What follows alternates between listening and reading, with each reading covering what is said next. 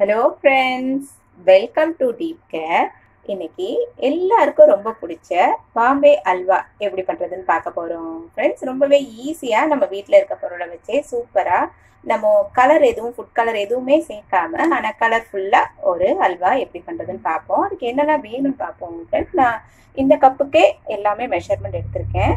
ஒரு cup cornflour சர்க்கரை கொஞ்சமாக பாதாம் ஒரு ஏழுலேருந்து எட்டு வரைக்கும் ஒரு ரெண்டு ஹவர் வரைக்கும் நம்ம வந்து ஓவர் நைட் ஊற வச்சு கட் பண்ணி எடுக்கலாம். இல்லை மறந்துட்டோம்னா கொஞ்சமாக வெது வெதுப்பான தண்ணியில் ஒரு டூ ஹவர்ஸ் ஊற வச்சா போதும். அதுக்கப்புறமா அதை தோல் உரிச்சு நம்ம பொடியாக கட் பண்ணிக்கலாம். கொஞ்சமாக முந்திரி ஒரு அரை கப் வரைக்கும் கொஞ்சமாக சர்க்கரை எடுத்திருக்கேன். இது இதுதான் நம்மளுக்கு கலர் தர்றதுக்கான ஒரு சீக்ரெட் இன்க்ரீடியன்ட் எப்படி அதை ரெடி பண்ணுறோன்னு பார்ப்போம் ஃப்ரெண்ட்ஸ் ஃபர்ஸ்ட் நம்ம இந்த கார்ன்ஃப்ளாரை இந்த ஒரு கப் கார்ன்ஃப்ளாருக்கு ஒரு பவுலில் போட்டுட்டு இதே கப்புக்கு ஒன்றரை கப்பு நம்ம தண்ணி மிக்ஸ் பண்ணி இதை கரைச்சி வச்சிடலாம். இந்த மாதிரி இந்த கப்புக்கு ஒன்றரை கப்பு தண்ணி ஊற்றி நம்ம இதை கரைச்சி வச்சுக்கிட்டோம். இது நம்ம ரெடி ஆகிறதுக்குள்ளே திருப்பியும் அடியில் இந்த மாதிரி கட்டி ஆயிரும். ஸோ நம்ம ஊற்றும் போதும் இதை அப்படி லேசாக கலந்துட்டு ஊற்றணும் அதே மாதிரி இந்த பாதாமையும் தோல் உரிச்சு பொடியை கட் பண்ணி எடுத்துட்டு வந்துடலாம். இந்த மாதிரி பாதாமை நம்ம கட் பண்ணி வச்சுக்கலாம். எதுக்காக அது ஊற போடுறோம்னா நம்மளுக்கு நல்ல இந்த மாதிரி கட் பண்ண ஈஸியாக இருக்கும். அதுக்காக தான்.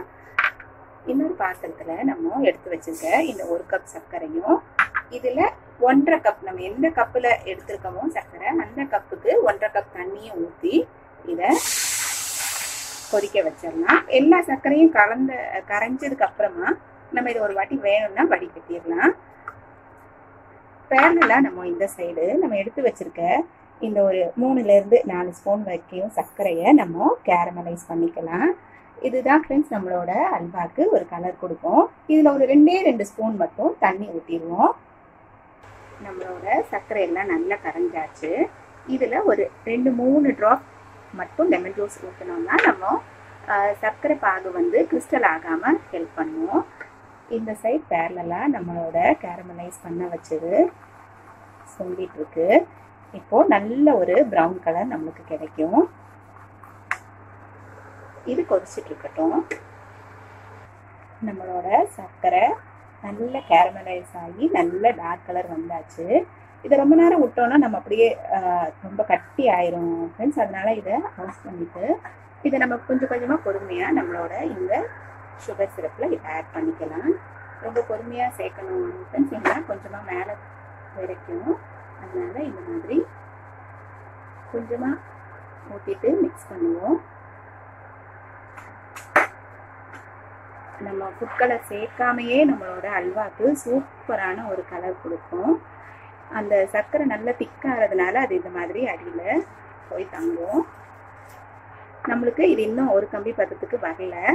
அது வரைக்கும் இது கொதிக்கட்டும். வேணும்னா நம்ம கொஞ்சம் கூட இந்த கேரமலைஸ் சுகரை சேர்த்துக்கலாம். இல்லை இந்த ஸ்டேஜில் நமக்கு வேணும்னா பொதுவாக நம்மளோட பாம்பே அல்வான்றது நல்ல டார்க் க்ரீன் எல்லோ ஆரஞ்சு இப்படி நிறைய கலர்ஸில் கிடைக்கும். குழந்தைங்களுக்கு கொடுக்குறோன்னா நம்ம இந்த மாதிரி ஏதாவது கலர் ஃபுட் கலரை இந்த டைமில் நம்ம சேர்த்துக்கலாம். ஃபுட் கலர் அவாய்ட் பண்ணுறதுக்காக நான் இந்த மாதிரி சர்க்கரையே சேர்க்குறேன். இப்போ இது இன்னும் கம்பி பதம் வரட்டும். நம்மளோட பாகு ரெடி ஆகிறதுக்குள்ள நம்ம எந்த பாத்திரத்தில் இதை ஊற்ற போகிறோமோ அந்த பாத்திரத்தில் கொஞ்சமாக நெய் தடவி வச்சிடலாம். இப்போ நல்லா கொதிச்சு வருது. கையை கொஞ்சமாக ஈரத்தில் நம்ம வச்சுட்டு ஏன்னா நல்ல சூடாக இருக்கும். கொஞ்சமாக நம்ம எடுத்து பார்த்தோம்னா நல்ல ஒரு கம்பி பதம் வரும். சூடாக இருக்கும் ஃப்ரெண்ட்ஸ் பார்த்து பண்ணுங்க. இந்த மாதிரி ஒரு கம்பி பதம் வரும். இந்த மாதிரி. கையை நல்லா சுடும் இந்த ஸ்டேஜில் நம்ம இந்த கரைச்சி வச்சுருக்கேன் கார்ன்ஃப்ளவர் நான் சொன்ன மாதிரி இந்த மாதிரி அடியில் கட்டி ஆயிரும். ஒரு கையில் ஊற்றிட்டே ஒரு கையில் நம்ம மிக்ஸ் பண்ணிடலாம். இந்த மாதிரி ஒரு கையில் ஊற்றிக்கிட்டே ஒரு கையில் நல்லா மிக்ஸ் பண்ணிடலாம். ஊற்றின உடனே அது கட்டி ஆகும். நம்ம கைவிடாமல் இதை ஸ்டவ்வை சிம்மில் வச்சு நம்ம மிக்ஸ் பண்ணிகிட்டே இருக்கணும்.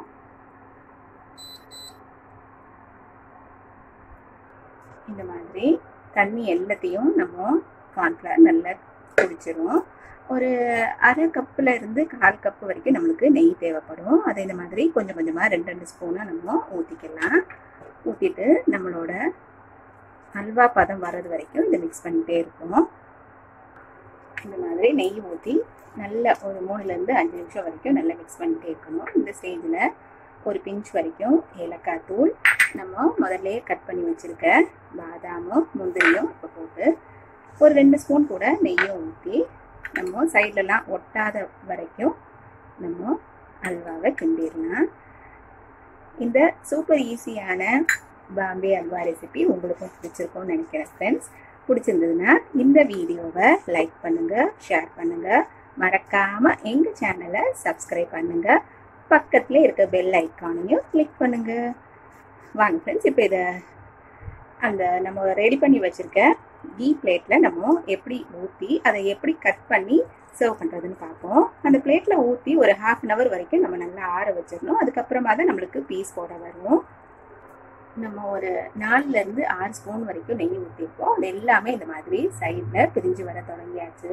நம்மளோட அல்வா சூப்பராக ரெடி ஆயாச்சு. நம்ம இப்போ அந்த ட்ரேயில் ஊற்றிடுவோம் இந்த மாதிரி ட்ரேயில் ஊற்றி ஒரு ஹாஃப் அன் ஹவர் கழித்து நம்ம இதை பீஸ் போட்டு எப்படி ரெடி ஆகுதுன்னு பார்ப்போம். இந்த மாதிரி ஒரு ஹாஃப் அன் ஹவர் கழித்து நம்மளுக்கு எந்த சைஸில் வேணுமோ அந்த சைஸில் கட் பண்ணி நம்மளோட அல்வாவை சூப்பராக எடுத்து சாப்பிடலாம். ரொம்பவே சாஃப்டாக நம்மளோட பாம்பே அல்வா வந்திருக்கு.